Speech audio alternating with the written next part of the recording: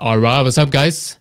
How do you actually confirm the bounce before you enter a trade? Well, I'm going to show you in today's video exactly how I do that in my trade.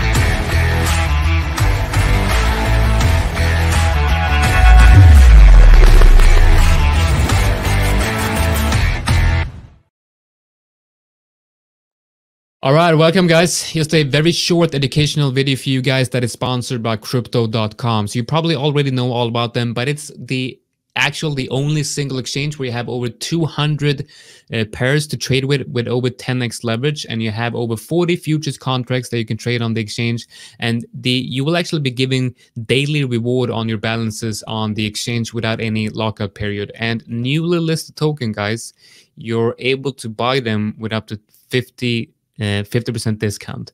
And if you use the link in the description below, you will be given $50 in CRO, which is their native token. So check it out, guys. It's basically free money. Hit the link in the description below.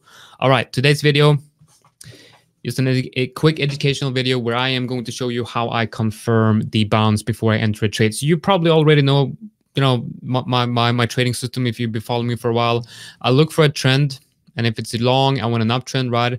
And the whole idea is to go long on the dips of the uptrend if it's confluent with a horizontal level and and some of my indicators which is basically only the uh, daily 20 and 50 ema with the four hour 20 and 50 ema and i then add monthly weekly open with fib levels and the stochastics rsi that's everything i use but how do like I, I don't I don't set blind orders. I wait for confirmation of a bounce. But how do I actually confirm that it's a bounce before I enter?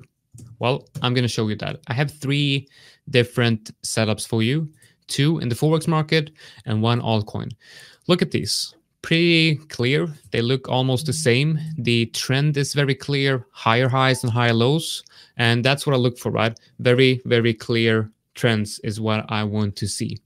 All right, First up is USD CHF. This was a long that I uh, wanted to take because we had a major high time frame break in market structure when we had, you know, we had a downtrend coming here, and then we kind of broke that market structure right here with a higher high and higher low, and then a higher high, and I want to go long on the next higher low right here. So first of all, what am I looking for here? Well, i I'm looking for price to hit either the four hour 20 or four hour 50 EMA and the 50% uh, fib or the area between the 0.61 uh, 786 and the 0.618 which is the RLZ right in this case right here on this example we hit the 50% fib perfectly and I'm also then looking at the stochastics RSI. So the stochastics RSI needs to be below 30 when buying and above 70 when uh, selling, right? So we saw the price hit a very interesting area. Stochastics is looking very good. Now, what I wanted to see, like I went down into the one hour and saw that we had a, a break in market structure on the one hour, like somewhere somewhere around here, and we then had a nice four hour bullish candle right here with a stochastics bull cross right here. Now, Normally what I do is like this is my entry trigger. This candle right here with the stochastics RSI at an interesting level and you have around the bottom, that is my entry trigger. And if the risk to reward is good, right here. If i enter here with stops you know below this area if the risk to reward is good i'm going to take that trade i'm going to take that position. But in this case right here the risk to reward was just not that good. So what i did instead was i saw a good level here on the one hour and just placed my bids here because the setup was already confirmed but i was just you know trying to get lucky in a sense. You know this usually works out pretty well but I, you know, if price just runs and never hits my my entry here, well, I'm okay with that. I'm okay with that because the risk to reward weren't that good anyway. To get a fill down here with stops here would be much better risk to reward. So that's that's basically what I'm looking for, right? A rounded bottom, nice bullish candle that kind of breaks market structure, rounded retest, rounded bottom, bullish candle that breaks market structure with a stochastics RSI bull cross below 30. Next setup is the Australian dollar versus USD. And you can see here as well. Now, this is the only screenshot I have. This is, you know, I went through my journal and I looked at some old trades that I want to share with you guys. You can kind of see here that we have a couple of different entry triggers right here. Now, this is obviously the, the trade that I took I remember um, we had round the bottom on the trendline area, the 50% fib and the 20 EMA in the four hour. We had a stochastics bull cross with that candle right here. And I then looked at the one hour and saw that there were a pretty nice level here on the one hour. So I placed my bids right below. Price went down like this and then hit TP1 and TP2 and then, then get stopped out somewhere down here. But the entry is, is the same, right? Uh, stochastics RSI bull cross below 30, strong bullish candle with around the bottom. And if the risk reward is good, I would have entered here, but it, it wasn't. So I decided to put orders a little bit lower. Here's another one, right? Hits a hits the trend line here, hits the four hour 20 EMA, four hour stochastics bull cross, four hour bullish engulfing. You could have entered on that candle with stops below here, right? Now, this wouldn't be a trade that I would be taking, but the entry trigger would still be the same, right? Four hour bullish engulfing, low time frame break and market structure on an important level with a stochastics RSI bull cross below 30. Now let's look at the last setup here. This is on GRT and altcoin, right? And same thing here. Well, very not the same thing, but it's very similar, right?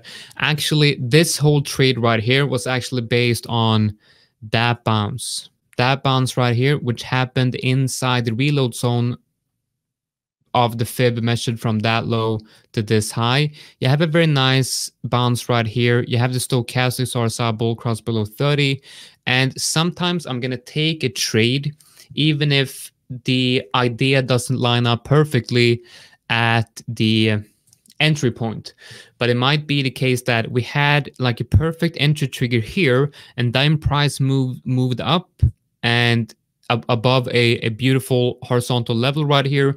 And the fact that we already had a perfect buy signal here, you might want to think that, well, if the perfect entry was here, why not enter on a break and retest of this level, which kind of looks very similar, and then have a wider stop loss? Because if this was the the the best entry, and price is about to move higher, it shouldn't move lower than this. If it moves down here, it's invalidated. And the risk to reward was pretty good on this one. So as you can see right here, what happened was a strong bullish candle on the four hour. I placed my orders on the horizontal level right here, complement with the four hour 20 EMA, and boom, show, sh you know, just shot up straight to the last TP right here. All right, guys. Hopefully this makes sense. Just a quick video for you guys, and I would like for you to check this out, the back test this, go to TradingView, look at whatever shot you want, and check the relationship between price making a rounded retest down to the uh, previous resistance area now hopefully support look for look for a four hour bullish engulfing on an interesting level at the same time as you're getting a, a four hour stochastics bull cross below 30. I guarantee you, you're going to find a lot of interesting setups and perhaps start implementing that in your own trading. All right, guys, take care and see you guys in the next one.